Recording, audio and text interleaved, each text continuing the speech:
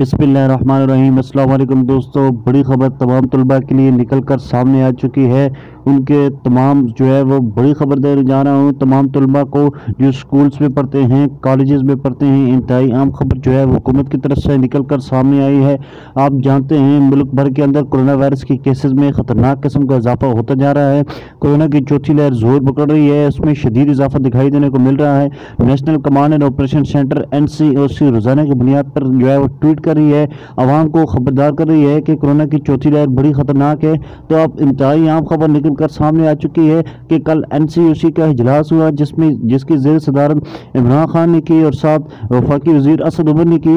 تو اس میں بڑی خبر جو ہے وہ نکل کر سامنے آئی، فیصلے ہوئے کہ ملک کے اندر جو سلیکٹو ایریاز ہیں اور خاص طور پر اسلام آباد پنڈی میں، پنجاب میں اندر سمارٹ لاک ڈاؤن جو ہے وہ نفاذ کیا گیا۔ تو اب بڑی خبر دینے جا رہا ہوں، تمام طلبہ کو، ان کے تعلیمی اداروں کو مزید بند رکھنے کے متعلق اسکولوں میں چھٹیاں اور بڑھانے کے متعلق اور ساتھ ہی ساتھ امتحانات کے متعلق اب تک کی تازہ ترین خبر شیئر کرنے جا رہا ہوں۔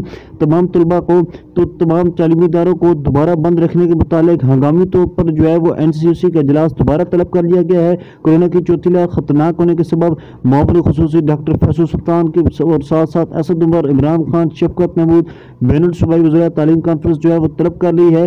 بڑی خبر دینے جا رہا ہوں، اس بین الصوبائی وزراء تعلیم کانفرنس میں اب تمام اسٹوڈنٹس کے لیے تعلیمی اداروں کو مزید بند رکھنے کے متعلق جو ہے وہ حتمی فیصلہ کیا جائے گا اور یہ میٹنگ جو ہے وہ چار اگست کو انشاءاللہ منعقد ہوگی، کل منعقد ہوگی۔